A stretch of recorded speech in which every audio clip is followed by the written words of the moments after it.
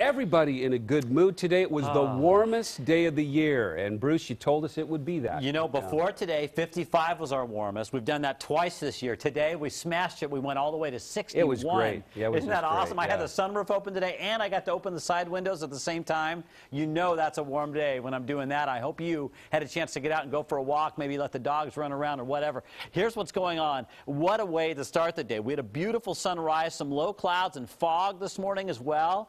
A little bit frosty in some parts of town. And then we kicked that uh, fog to the curb. We broke up the low clouds. We brought out the mountains from Mount Hood to Mount St. Helens, which you see here, and just beautiful sunshine all over the place. And it wasn't just the Willamette Valley. Oh no, it's been gorgeous all day along the coast as well. In fact, this is a live look right now from Cannon Beach, our Tolovana Inn camera. Temperatures in the 50s, basically no wind and nothing but clear sky. I mean, look at the people on the beach right now. I'm so jealous. All right, high temperatures today. We made 61 in Newport, 61 in Portland. By the way, our record high today, 63. So we're just two degrees short. Redmond, you hit 60, close to 60 in Pendleton. But wait a minute, what happened to Eugene? 46 degrees, stuck in the low clouds really just now clearing out really within the last hour most places. Very interesting. I'll show you that on the satellite in a minute. We did have a chilly start. We knew that would happen because of the clearing last night. Tonight's going to be another cool start uh, or, or cool finish and then i guess cool start tomorrow morning as well.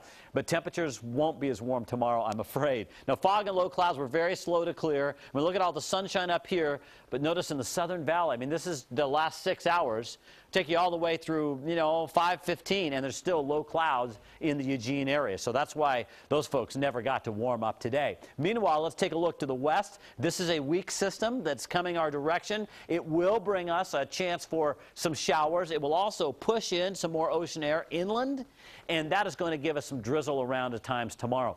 A definite temperature switch as we get into the weekend. Today, here we are into this bubble of warm air, and hasn't it been awesome? But guess what? There's cooler air on deck as things kind of drop in over the weekend. Saturday and Sunday are going to be cooler, a lot more like the weather we've just been through the last few days than the weather we're experiencing today. Now here's Raincast, 7 o'clock tonight, still nice and clear. Temperatures cooling quickly from one edge of Oregon and Washington to the other because of our clear skies. Clouds increase overnight, 7 a.m. tomorrow morning. We may have some passing showers around. You will find some in the foothills of the Cascades and along the coast. As we go through the day, occasional showers or pockets of drizzle will pop up from time to time, and we'll have a mix of rain and snow in the Cascades, with that snow level dropping down to about 4,500 feet in the afternoon, so back down to the passes. Now we take you into Sunday, mostly dry in the valley as far as rain, but I think morning drizzle is a pretty good bet. We'll have some snow flurries up in the Cascades, and most of Sunday actually ends up being dry. We'll probably see some filtered sunshine or sun breaks, but in the morning, drizzle would not surprise me. So a grayer weekend.